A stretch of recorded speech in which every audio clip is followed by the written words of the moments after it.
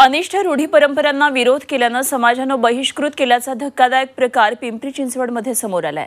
कंजारभाट समाजातल्या कौमार्य परीक्षण चाचणीला विरोध करणाऱ्या महिलेला गरबा आणि दांडिया खेळायला मनाई करण्यात आली आहे लग्नावेळी कौमार्य परीक्षण चाचणीला विरोध करण्यासाठी कंजारभाट समाजातल्या तरुण तरुणींनी स्टॉप द व्ही रिच्युअल नावानं समाज माध्यमांमध्ये मोहीम हाती घेतली होती. त्यातच सहभागी असलेल्या एका महिलेनं लग्नाच्या वेळी ही चाचणी केली नाही. हीच महिला पिंपरीमध्ये कंजारभाट समाजाच्या वतीनं आयोजित दांडियामध्ये सहभागी होण्यासाठी गेली होती. मात्र तिथं तिला गरबा आणि दांडियामध्ये सहभागी होण्यापासून रोखण्यात आलं.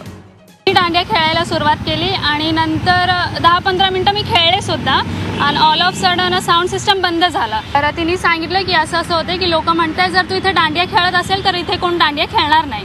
मी म्हटलं जर असं असेल तर मी इथेच थांबणार मी कुठे जाणार नाही आहे आणि मी त्याच्यानंतर जे लोक माझ्यासोबत दांडिया खेळत होते ते सुद्धा निघून गेले. आणि मी मांडवाच्या मध्ये एकटी उभी होती कोण बोलत नव्हते माझ्यासोबत. टॉप दी व्ही रिच्युअल या मोहिमेमध्ये सहभागी असल्यामुळेच आपल्यावर बहिष्कार टाकल्याचं त्या महिलेचं म्हणणं आहे. मात्र समाजाकडून कितीही विरोध झाला तरी या अनिष्ट रूढी परंपरांचा विरोध करतच राहणार अशी ठाम भूमिका तिने घेतली आहे. मला समाज अप्रिय नाही वाटत.